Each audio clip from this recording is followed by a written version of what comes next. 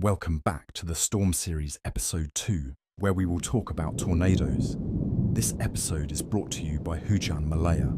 Similar to a hurricane, tornado is a very rapidly rotating storms with low pressure zone in its center.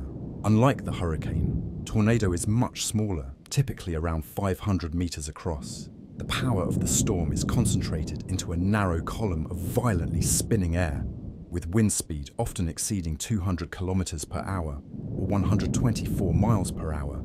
Another difference is that the trail of damage left by a tornado is much narrower than a hurricane. However, it is often much more severe. The wind strength alone will often wreck crops and buildings, plus the violent upwards air currents can pick up animals, people, trees, and throw them some distance away.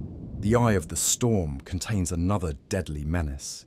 Here, the air pressure is so low that if the tornado passes right over a building, the sudden drop in air pressure can leave the pressure inside the building much greater than the pressure outside, resulting in the building to explode.